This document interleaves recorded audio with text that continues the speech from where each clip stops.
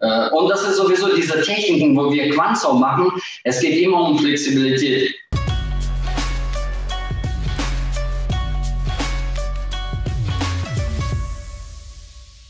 Denke mal so, du willst hoch, paff, und währenddessen ist äh, Bonsau. Jetzt hier auf dem Bonsau mit Gamsau drücken, als ob du dich so fesseln willst, und zur Mitte Gam Faust, richtig.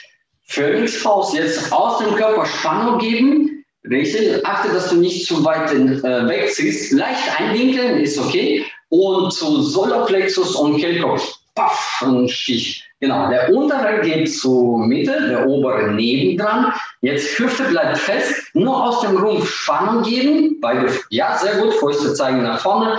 Bumm, Doppelfaust.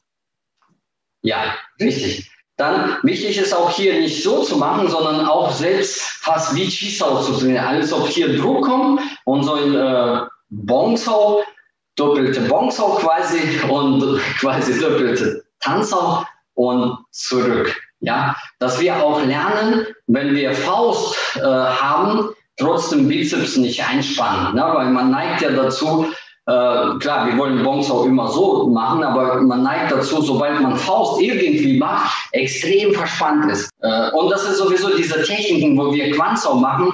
Es geht immer um Flexibilität. Also würde ich mal sagen, dass das Prinzip ist, dass wir extrem Flexibilität lernen, auch wenn wir Fäuste haben.